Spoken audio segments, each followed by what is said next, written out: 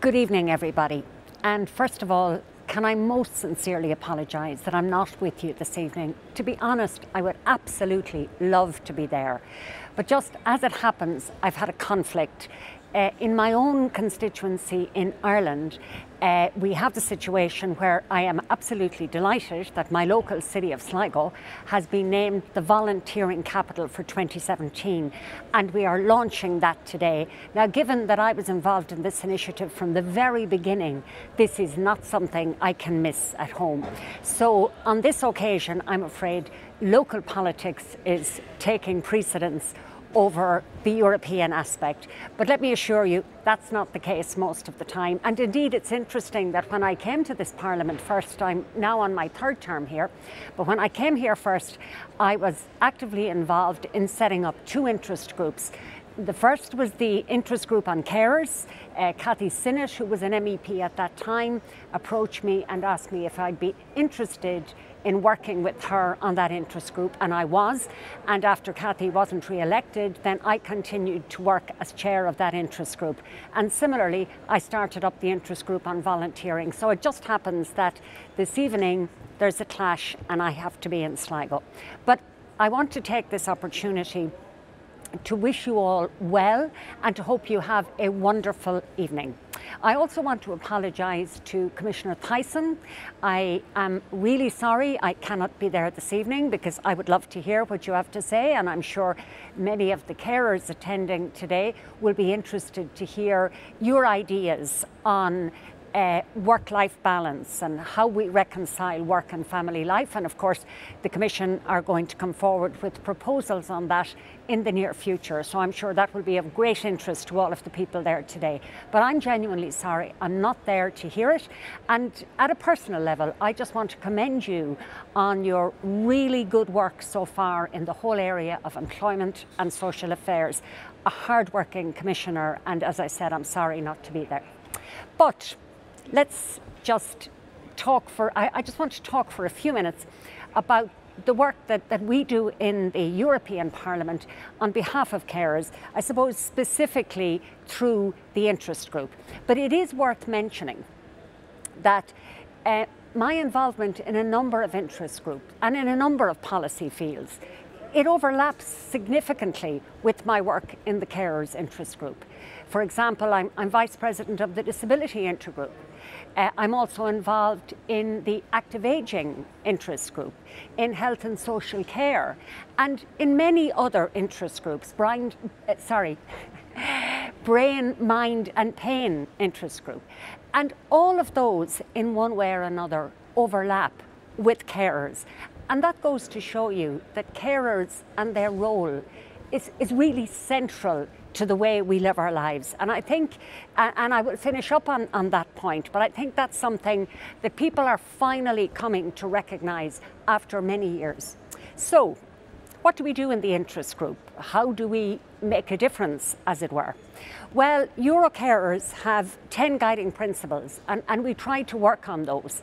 And those guiding principles are number one, recognition, that carers are recognised for the work they do. Number two, social inclusion. And it's very, very important that carers are specifically mentioned. We talk about other groups or groups who are marginalised and we want to make sure they are socially included. But very often, because carers operate behind the closed door of their own home, very often on their own and without support, they are sometimes left out. And it is really important that all of our policies uh, in that area must ensure that carers are included. We also have number three, equality of opportunity. And with that, I would put choice because carers need to have a choice, you know, and, and that needs to be recognized. And equality of opportunity is very important. And I can give you just one example of how I, as an MEP, managed to put in, in a piece of legislation something that will help give carers equality of opportunity. And that is in something called the Globalisation Fund. Now, this is a fund that is set up to help workers who are redundant uh, because of globalisation. And it, it allows the, the workers access training, maybe upskilling, maybe start your own business, whatever.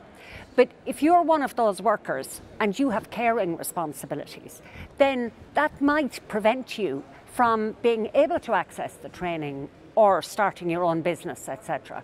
And one of the things that I got written into that legislation was that there would be special allowances for carers who wanted to, to, maybe upskill or retrain, whatever, so that they could do it and that their caring responsibilities would not prevent them from doing that.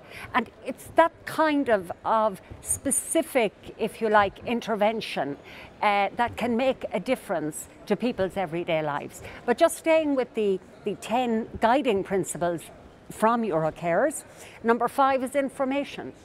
Again, carers must be able to receive information, particularly, in my opinion, from other healthcare professionals. Because sometimes what happens is somebody comes home from hospital, they're landed home, and very often carers do not have sufficient information to care adequately or properly. In many member states, and certainly in my own, people are coming out of hospital much earlier than they used to, very often needing a great deal of care. And unless carers are supplied with that information and on an equal footing, then you know they, they cannot be expected to, to care and care adequately. We also have, as number six, support caring for many people, not for everybody, but for many people, is 24 7. Anybody who has to deal with that kind of situation needs very significant support. And that leads us to the next point, which is time off. None of us, it doesn't matter who we are, we can't keep doing the same thing day after day without respite, without an opportunity to draw our breath, without an opportunity to look at our own lives and live our own lives. You are a carer, yes, but you are also an individual with your own needs, etc. And that must be recognised. There's three left, uh, and the next one is compatibility of care and employment. Well, I'm not going to say anything about that because I expect the Commissioner will deal with that in her intervention later. And the last two are health promotion and protection and financial security. Well, again, one of the things we know is that carers tend to become ill more often than you know, a person in the general population because they're under such pressure and such stress. So what you sometimes end up with is somebody who needs a care and then a carer who becomes ill looking after them. So our healthcare systems have to deal with that. And finally, financial security. That is a hugely important issue for all of us. But one of the issues we see time and time again is that carers very often have to take time off work, sometimes have to work part time, sometimes have to give up work altogether in order to care. That means they have a lot less salary, and it can also mean that down the line their pensions are impacted. It is absolutely essential that all member states introduce some kind of pension care credits so that those who take time to care are not disadvantaged a second time when it comes to draw their pension. So those are the guiding principles that we work with in the interest group. But maybe just to give you one or two specific examples of, of what we're doing.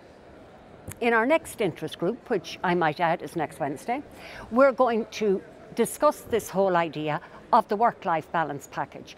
And I'll be delighted to host, I think it's about 25, 28 uh, family carers from Ireland who will be able to discuss this issue with representatives from the Commission, with MEPs, so that we can get the input of carers uh, into our discussion.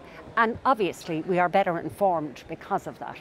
And indeed, the last uh, interest group uh, looked at the Euphomet report on caring for carers. So that just gives you an example of, of what we're going to do next Wednesday and what we dealt with in our last interest group. I suppose if I were to list the achievements of the interest group, I, think number one would be the fact that I believe we significantly helped to put carers and their needs on the agenda. If I go back mm, 13 years ago, when we started up the interest group, uh, there was really very little mention of carers. But since that, now not just because of us, obviously, there were other reasons, but certainly the interest group played its role in ensuring that carers and their needs are now mentioned in European reports, in opinions, in legislative documents. And, and that's really important because it means, you know, you are mentioned, you are there. Also, I think we have, through our joint meetings with other interest groups, raised awareness of the importance of carers.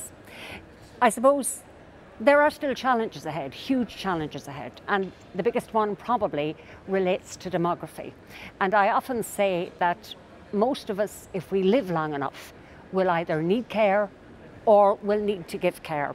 And I think because of the very fact that people are now recognizing that.